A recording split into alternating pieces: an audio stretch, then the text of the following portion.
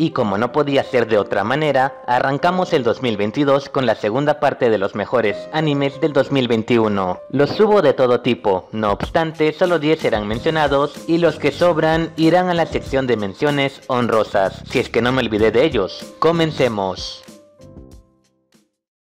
10. Shit Kukushi. El género Isekai no podía faltar en este top. Shit Kukushi nos cuenta la vida de un farmacéutico que va a otro mundo y la rompe con ese oficio. Destacaré la comedia y lo simpáticamente simple que es este Isekai, lo suficiente como para poder estar en el décimo lugar. 9. Shirou Suna no Aquatope. PA Works ¿Qué sería este canal sin ti? Shirausuna no Aquatope es un anime que al menos para mí sirve como disculpa por los sinsabores que nos dejó Kamisama ni Natahi. La serie cuenta la historia de dos chicas, una ex idol y una soñadora que buscarán salvar un hermoso acuario de la bancarrota. Llama la atención los ambientes, los personajes y la magia característica de los animes de PA Works, aunque aquí palidece un poco. 8. Tsukimichi Volviendo a los Isekai, Tsukimichi es una opción contrapuesta a lo que ofrece Chit Kukushi, debido a su comedia picante, el fanservice, el ecchi y otras cosas genéricas del género. El anime nos narra la vida de Makoto Mizumi, quien junto a sus compañeras tendrá chistosas aventuras en otro mundo. Le confirmaron segunda temporada, por cierto. 7. Peach Boy este fue uno de los tres animes de un mismo autor que fueron emitidos a la vez. Peach Boy llama la atención por su narración acíclica y las historias que divergen de ella, como el de la princesa que desea conocer el mundo, el trapo que mata ogros, la conejita misteriosa y bla bla bla. Su comedia, gore y mensajes son más que suficientes para pasar el rato. 6. Uramichi Onisan Supuestamente está dentro del catálogo de Netflix, así que me arriesgo a mencionarlo en el top. Uramichi Onisan es un anime con el que muchos se identificarán ya que nos cuenta la vida del asalariado Uramichi, quien nos muestra lo tediosa que es la vida de una persona con salario mínimo. Está de más decirles que su comedia vale la pena. 5. Isekai Shokudou 2 ¿Quién diría que luego de 4 años volvería a toparme con este anime? Solo que no como mención honrosa. Isekai Shokudou es, como ya deben suponer, un Isekai donde su atractivo radica en contar historias relacionadas a un restaurante al cual frecuentan personas y criaturas de otro mundo. Su comedia y estilo tipo Slice of Life valen la pena.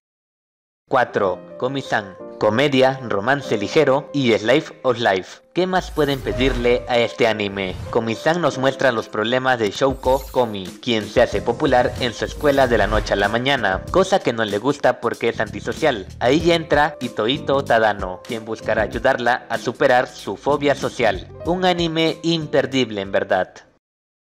3. Blue Period. Este año no tuvo mucho anime purificador como en la lejana primera temporada del 2018, pero afortunadamente Blue Period llenó ese vacío. El anime nos cuenta la vida de Yatora Yaguchi, un joven que descubre su pasión por el arte y hará todo lo posible por ingresar a la universidad más exigente de Tokio para aprender más sobre el arte. Estéticamente el anime cumple, pero no esperen momentos épicos o mucho ecchi, ya que esa no es su función.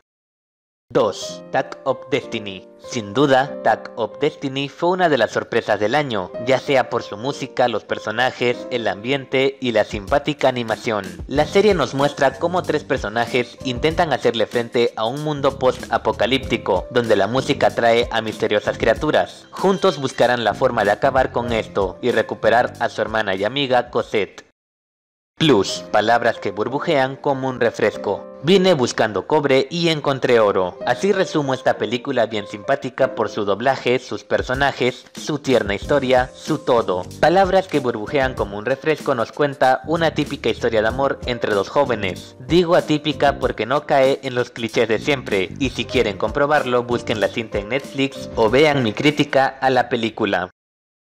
1. Taisho Otome. Cerramos el top con un anime relativamente purificador. Taisho Otome nos cuenta la vida de Tamahiko Shima, un joven que perdió la movilidad de su mano derecha y por consiguiente vive como un ermitaño hasta que recibe la visita de su futura esposa, Yusuki, quien cambiará su perspectiva sobre la vida. El anime destaca por su historia, la comedia y el tierno mensaje de la relación entre Tamahiko y Yusuki, pese a los momentos random.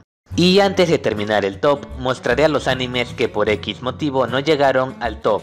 Ya ustedes en comentarios me dirán si debían o no salir en este espacio. Iniciemos de una vez con las menciones honrosas.